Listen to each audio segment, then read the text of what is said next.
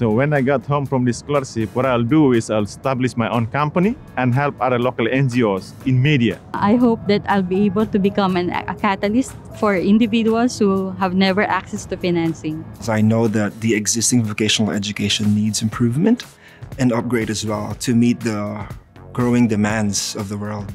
I can make a difference by making enterprises out of the scientific and technical knowledge being generated in Philippine universities.